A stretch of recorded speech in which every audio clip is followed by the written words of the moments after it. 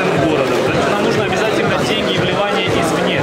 Причем деньги дешевые, а лучше всего создание новых рабочих мест, которые будут генерировать деньги внутри Николаева. Что, чего вы, как мэр, ожидаете от данного форума?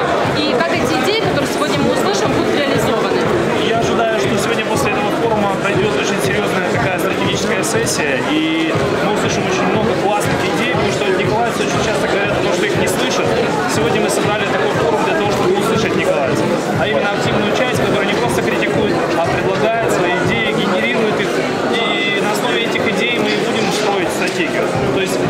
происходит такой момент синхронизации мыслей власти и горожан, для того, чтобы не говорили горожане, что власть их не слышит или мы хотим другого. Сейчас мы хотим услышать, чего хотят николаевцы. То есть сначала вы услышите николаевцев, потом вы будете выбирать, принимать решения? Именно. Пунктом номер один моей предвыборной кампании было создание и внедрение стратегии